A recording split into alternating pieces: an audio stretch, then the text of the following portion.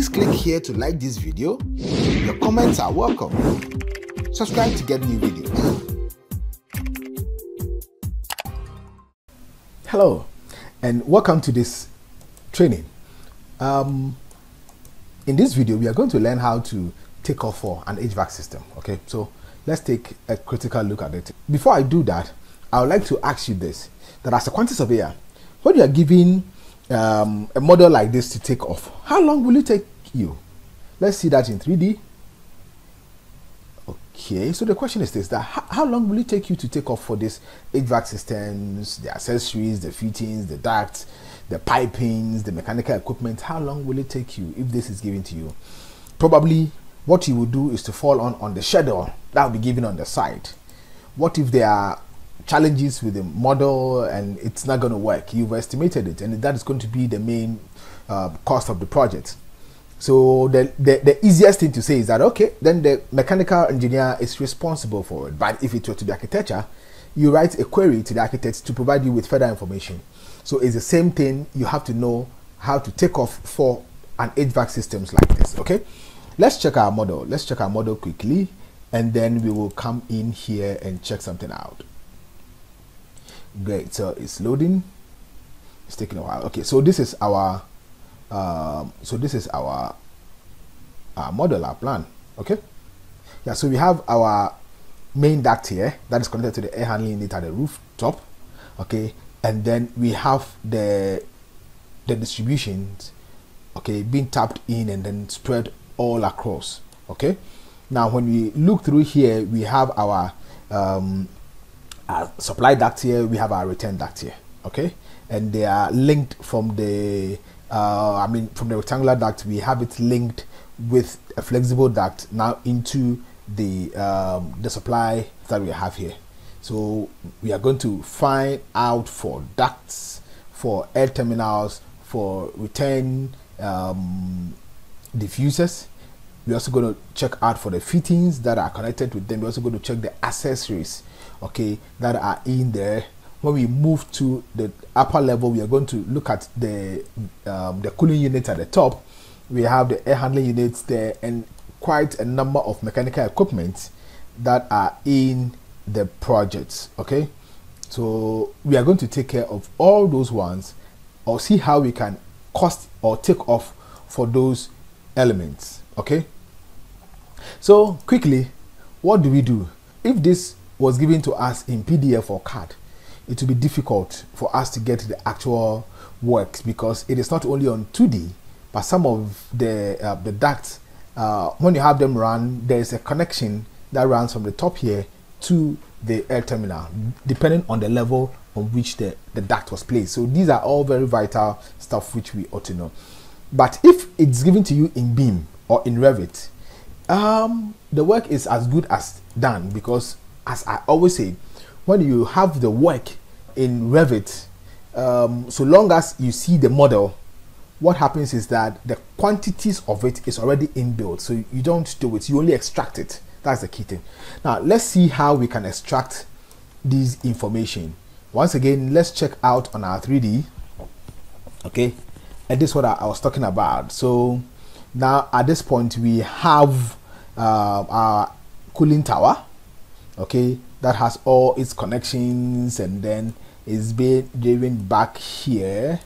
We also have here our air handling unit okay and uh, these are these are all mechanical equipment okay and um, we have all the connections. But before we even do that if we want to check whether the work was properly done okay all you need to do uh, is to from analyze you come to show disconnect and then at this point what do you want to see the errors or the disconnections with? If you want to check the system before you send a query to um, the mechanical engineer, what you do is the um, click on this and then say okay, and um, it will show you all the disconnects. Okay, if there are challenges with it, it will show you where all those challenges are, and then we you can you can now send a query to them to fix it. Because if you should take off and there are errors in it you'll be you'll be getting a defective quantities okay? And it's even worse when it's given to you in cad or in revit or printed drawing and you have to take off. You see that the drawings will be seriously defective okay?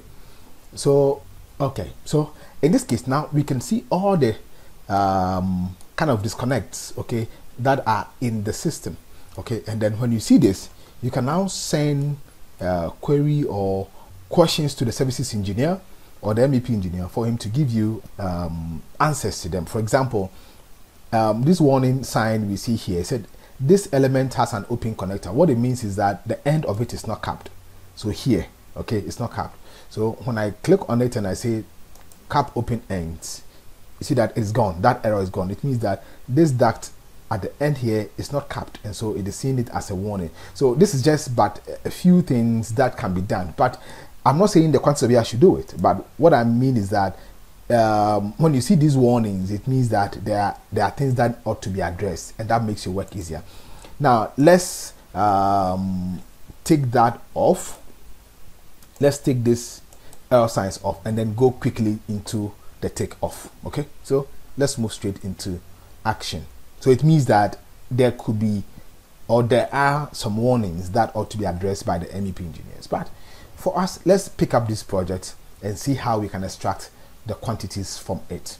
Okay, so we reverse this back to its position and now let's take off. So we come to analyze and we have schedules and quantities. So we click on that, this pops up. And what we ought to do is, you see, you have several disciplines that are here. Just uncheck everything and leave mechanical, okay? Because HVAC systems falls under mechanical. So when you leave it under mechanical, um, you can say, in fact, if you want to check only duct, duct fittings, you can select that and do that individual schedules that you want. But if you want to be able to take care of all the mechanical equipment and everything combined, then choose multi-category. But when you select that, what you can do is that you can say, uh, let's label it as HVAC, as HVAC schedule. Okay, so when you say HVAC schedule, what we do here is we say okay. Okay, so just some few steps. So now uh, it's a multi-category stuff we're going to do. What are the items you want to have in our uh, in our table? We want to have category. I want to have comment. I want to have cost. I want to have count. I want to have if you want description, you can you can get it there. Or family and type. I want to see all my works in a particular, fact, per level. Okay, so that one is set here. I come down here, um, you want to see what again, type mark, um, URL no. Um, so I think I'm set with it now. I can work with this. Uh, now let's rearrange it. I want the category to be the first. I want from I want description to be next to it. Okay, by the table. I want to come to family and type, which is next. If comments is there, I have no problem. If cost and count, I want cost and count to be coming down, down. I want type mark to be up. And then if I have it arranged like this, I'm cool with that. Now let me click on OK. And then you see how all the things now are going to be extracted. Now with this small, with this little arrangement that we did, it's going to pull out all the data that is connected to mechanical engineering and bring it here. Okay, okay so with the little activity we've done or the, with these little settings we've done it has pulled out all the HVAC items here for us. So look at it air terminal uh, and this air terminal is in level 2 and the type mark of it is 2 you have air terminal which is 1 and it's on level 1 the count is 1 so these are it quite a lot of them. You see when you check the scroll you can scroll down scroll down scroll down scroll down scroll down and you see it's a lot of items. Okay so um, now we want to know how to um, sort them out okay so that we will know level by level like what type of air terminals do we have and what's the capacity and what but all the things that you want to know you can you can have them extracted. So the next thing you do if you want them sorted out just come to sorting and grouping at the properties okay. Uh, it says sort by let's sort it by by category and then let's do that by level. Uh, let's bring in a footer and then a blank line. Let's have it in ascending order and I think that should be it for us to sort it out. But don't don't also forget that you have itemized every instance which means that every every item is going to be itemized. So we say okay. And it's even what we have here is itemized. You see it's, it's being counted individually. Okay so now it's going to group all of them together for us to see it. So just a moment and you can see all the air terminals are grouped at one point. Um, all the air terminals in the system. See all these are the level one now level two okay? All the level two uh, and don't forget some are return diffusers some are exhaust some are uh, supply and you have all, all these ones in there. And you see how many of them how many of the air terminals do we have? 309 okay? You have 309 and then they are all air terminals okay? But let's say we wanted to have it separated so that if you have diffusers it's separated differently. If you have um, um, let's say supply um, terminals they are also made differently. All you, all you need to do is to just come and then say hey give me give it to me. Let me sort it out by family and type. Okay? And then i also want to be able to know that the quantity of it when it is counted. So all I need to do is to come to formatting and then I say when you pick on count, give me the total of the counts that I need. Uh, let me come to yeah so that will solve that problem for me okay? So that will calculate it for me. And then at the sorting and grouping we say we are doing it by family and type and then we are doing it by level. So we say okay um, so when you say okay it is going to go into the system and then regroup them for you. And now we can see that it is going to be grouped now into the family and type. So we wouldn't have it uh, in those ways. So now look at it. Uh, specialty equipment okay? And these are those specialty equipments that we have because we have mechanical equipment in it so take note of that. And these are they they are grouped. The quantity we have in there are three. We have cable trays okay which are 17 in number okay? So now every item now the conduit fittings everything that you want is now being grouped into appropriate uh, instance for you now look at it the flexible ducts we have. We have 113 of them and this is the quantity. The pipe fittings you have you have um, seven of that. And so look these are stuff which you want. These are stuff which you need okay? And these are these are how we group them. In fact if even you don't want them to be itemized and you want them to be grouped in a way that will be easier for you to work on all you need to do is just come to sorting and grouping and say don't itemize every instance and say okay. When you do that you can see that it will now you are now going to have a reduce or a summary versions of all the stuff. So you see now all the cable trays are in there are 17 and it's just here like that. So now you can check out the quantity um, of everything that you have. In fact, if even they have given you a schedule okay, um, printed in PDF or something, all you ought to do is just verify it against what you have in the system. Okay, so every uh, fitting that you need, every accessory that you need, if you go through it, you can get it. Assuming it's even so um, clumsy, so you, you can't even make them out. It's simple. I'll show you something when you come into filter, you can use the filter to even make it easier for you. So I can say, look, filter by uh, filter by categories for me, and then I want categories that are equal to um, let's choose air terminals. Okay, so you say I want categories. I want you to sort only the air terminals out for me. So you say okay, and all the other things will go off, and you only see the air terminals. Okay, so these are the air terminals we have. You have um, okay so the exhaust grill rectangular hosted these are the then you have your return diffusers you have your supply diffusers you have 109 of them and then is there it's here.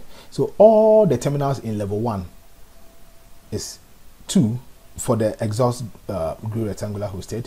Now when you come to level two for the same thing you have four and here you have two and then when you come into the air terminals at this point level 2 you have 28 level 3 you have that. So everything that you want is broken down. You see the various floors that you that you have. Level 1 is the ground floor level 2 is the first floor level 3 is the second floor. So it's clearly indicated and the counts here are also very clear okay? So this is what we mean by the efficiency of BIM so look it's great you learn how to use this BIM software and then uh, you master it because that is the way forward. If you check all the European countries, if you check the Americas, if you check the Asian countries, everybody globally is migrating to BIM. So uh, yes, it's good. You know how to use the manual means to take off. You know how to use every system. You know how to use the calculator. But the way forward, the next step that we have is BIM. BIM is for now if you are if you are not being compliant you can't work in certain countries you can't work in certain places. Please if you want to know how to get some of these training or maybe enroll in our complete revit for quantity surveyors i'll i'll add a link down there.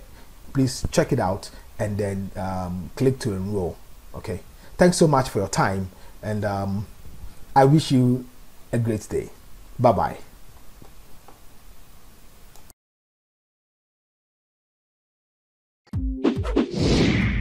click here to like this video. Your comments are welcome. Subscribe to get new videos.